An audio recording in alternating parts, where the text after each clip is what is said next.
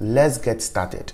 The first thing you have to do here is to launch your vMix application as you can see on my screen. And then the next thing we are going to do is to go to your Google Chrome browser and then type Google AI Studio as you can see on your screen and then click on the first link. If you are opening the page for the first time to ask you to register with your Google Gmail account, just go through the registration process and then this window will open for you. There are a lot of things that we can do with this Google AI Studio, but for the purpose of this tutorial, I'm going to click on Stream Realtime and then you click on Share Your Screen. So I'm going to give permission to Google AI Studio to use our microphone, all right? So you just have to accept it over here. And then these three windows are going to open for you, okay? So you are going to get the Chrome tab. If you want to share your Chrome tab, you do that. If you want to share your window, you do that. If you want to share the entire screen, you do that, okay? So I am going to select entire screen, click on it like this, and then we come down and then you click on share, okay? So now I've been able to share my screen with Google AI Studio, okay? So the next thing that we are going to do is to navigate into the vMix application, okay? But, but before we go, let me start my stream over here. What do you see on the screen? I see a screen capture of the vMix Pro software interface. It displays a two-panel preview of the video inputs, along with a selection of controls and options for video mixing. Gemini, show me a step-by-step -step how I can connect a camera feed into the vMix application. Okay, let's get started. First, click the Add Input button at the bottom left of the screen. Now, on the left side of the Input Select window, click on Camera. Alright, now you should see the camera settings on the right side of the window. Select your desired camera input under the Input dropdown. After that, click OK. Okay, Gemini, I want you to explain something to me over here. I can say something like frame rate. What is the best frame rate I should select over here? Frame rate is the frequency at which frames in a video sequence are displayed, which affects the smoothness of the motion seen, and Unijiako. The best frame rate depends on what you are filming. For example, a common frame rate for web video and film is 23.976 or 24 FPS frames per second. For TV broadcasts in the USA, 29.97 is used, while 25 is standard in Europe. If you're planning on doing slow motion, you could film at higher frame rates like 60 FPS, 120 FPS, or even higher. By Gemini, what is the meaning okay. of this error on the screen? It looks like there's an error message that popped up. It seems to be related to the streaming output. Would you like me to try and explain the error? Or yeah. is there another question okay, you have? The error message you're seeing indicates that there's an issue with the streaming output. Specifically, it says I.O. error. This means there's a problem with either sending or receiving the streaming signal. The error message also shows the streaming URL, which seems to be pointing to Facebook Live. It's likely there is an issue with the connection to the platform or with the settings in the program. Would you like me to help you troubleshoot?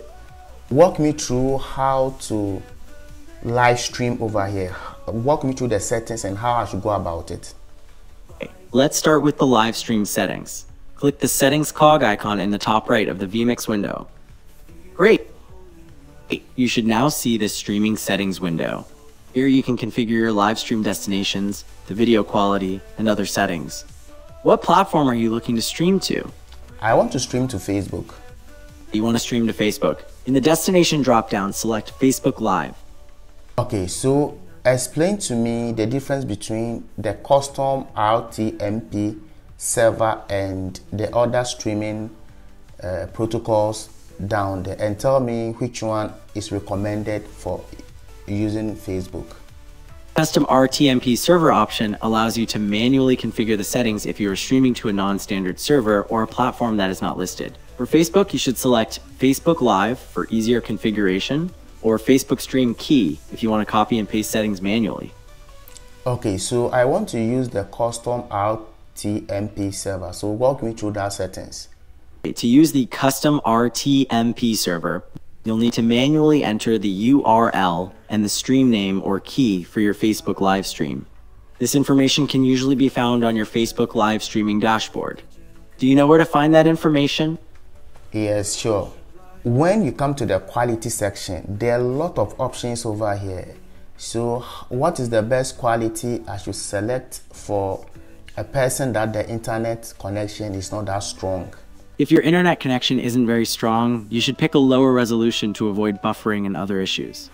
Something like H264,720p 2.5 megabits per second, AAC 128 kilobits per second, would be a good starting point. This should work on most internet connections while still providing decent video quality. Would you step by step, can you explain to me the meaning of the external button at the down over here? What does that do? Sure, let me explain what the external button does. The external button allows you to start or stop an external output, which would typically be a secondary display or a projector. How do I add lower third to my production? Add a lower third to your production, you'll need to add a new input. In the input window, click Add Input, then select Title, or GT Title, depending on the type of lower third you wish to add. Is there anything else I can help you with? How do I take a screenshot using the vMix software? To take a screenshot with vMix, use the Screenshot button located in the bottom right corner of the screen, next to the Overlay button. After that, the screenshot will be saved to your computer. Do you have other questions regarding vMix?